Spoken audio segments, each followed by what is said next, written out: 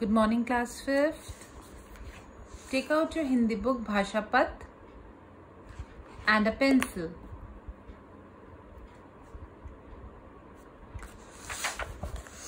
Take out page number 23 in your Hindi book. We were completing this exercise. Come to textual grammar.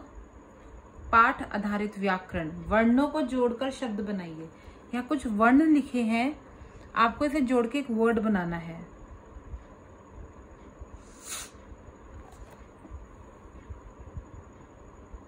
ठीक है I am starting do with me first uh,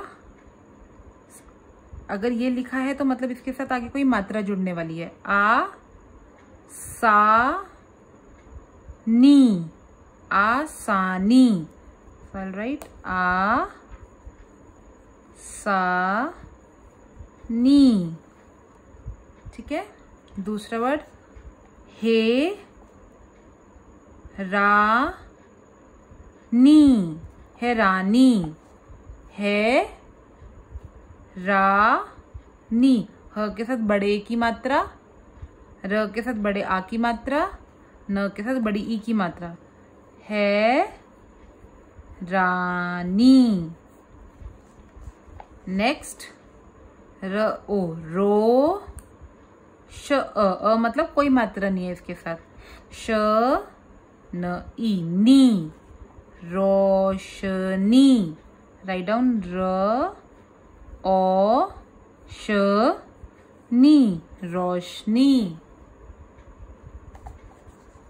next part हरी या, ली, हरियाली हरी या, ली।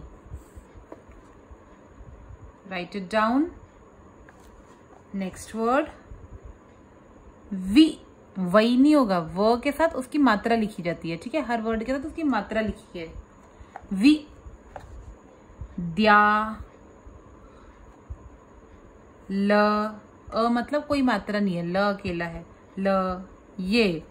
विद्यालय। विद्या ल य विद्यालय। वि द्यालय या फिर हम इसे ऐसे भी लिख सकते हैं। वि द्यालय ठीक है? Write it down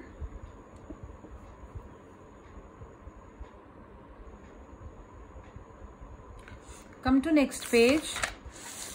Page number 24 question number two संयुक्त व्यंजन वाले दो दो शब्द लिखिए। ये देखिए, व्यंजन गिवन है आपको। इसके आपको दो दो शब्द लिखने हैं। जैसे ज्ञ के साथ विज्ञान दे रखा है एक वर्ड आपको दो और लिखने हैं। अक्ष के साथ वृक्ष दे रखा है, दो और लिखने हैं। ठीक है, जैसे ज्ञ के साथ हम क्या लिख सकते हैं? वो आपको लिखना है। अक्ष के साथ क्या लिख सकते हैं? जैसे कि समक्ष समक्ष विपक्ष विपक्ष। ठीक है? जैसे ज्ञ के साथ क्या लिख सकते हैं?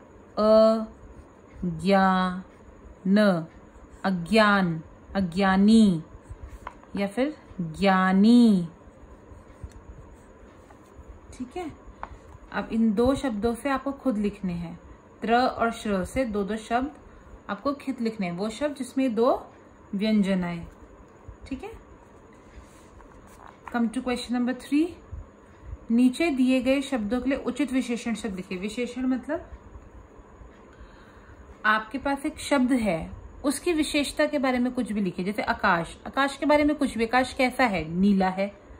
पर्वत तो पर्वत के लिए क्या लिख सकते हैं? ऊँचा पर्वत।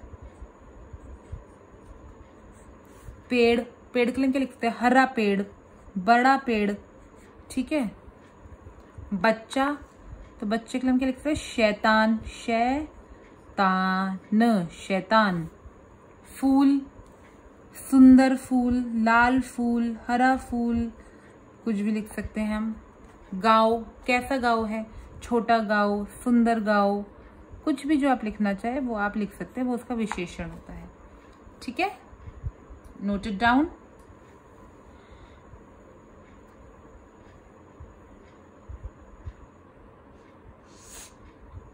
very good come to the next question नीचे दिए गए वाक्यों में सही विराम चिन्ह लगाइए। विराम चिन्ह मतलब पंचुएशन मार्क्स जहाँ पे फुल स्टॉप आना चाहिए, वहाँ पूर्ण विराम।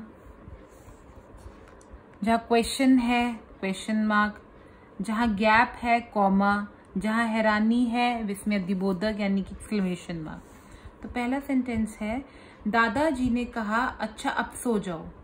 तो जब भी कोई कुछ कहता है बच्चों, जब भी कोई कुछ कहता है, वहाँ पे हमेशा गैप आता है। दादाजी ने कहा कॉमा और जो भी उन्होंने कहा, वो किसमें आता है? इन्वर्टेड कॉमर्स में। अच्छा अब सो जाओ। तो ये एक नॉर्मल सेंटेंस है तो पूर्ण विराम और फिर inverted comma close number two आकाश का रंग नीला क्यों होता है? ये एक प्रश्न है तो क्वेश्चन मार्क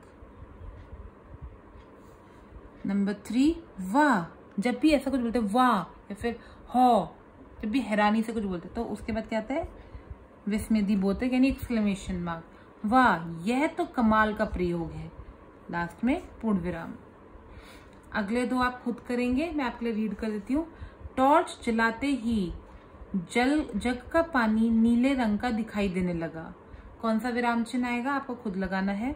हरे भरे खेत तथा बाग बगीचे देखकर बच्चे खुश हुए।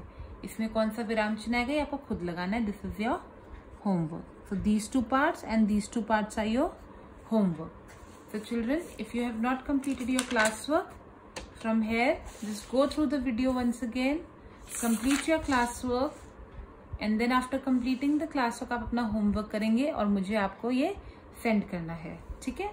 आप चाहे तो संडे या मंडे तक भी सेंड कर सकते हैं. Okay bye bye